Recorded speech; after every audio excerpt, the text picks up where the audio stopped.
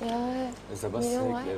If you knew how to sing country, I could. There was a country song called "My Next 30 Years." It's about a guy who who sends a letter to himself. Okay, it's about a guy who writes a letter to himself, uh, and he's 30 now. I know something like that. And no, sorry, it's called "Letter to Me," and it's a guy who writes a letter to himself. Um, I don't know how to explain it but he writes a letter to himself at 17.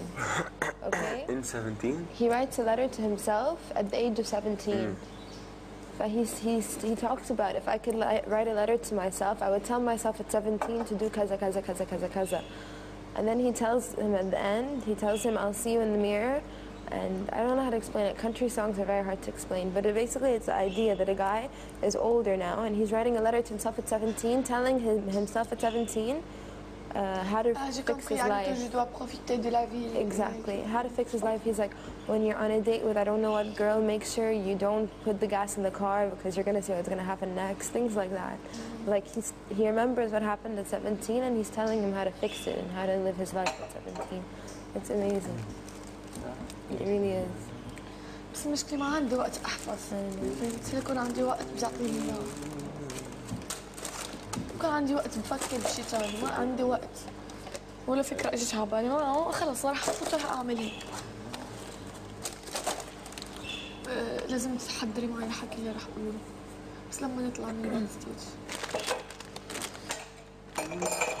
بدي أرجع انام أنا.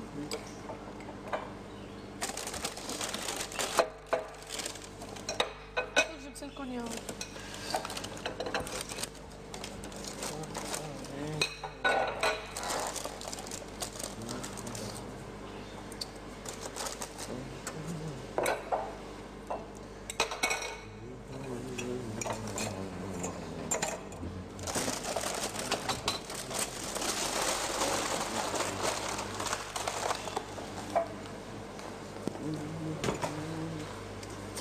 تعال عندي.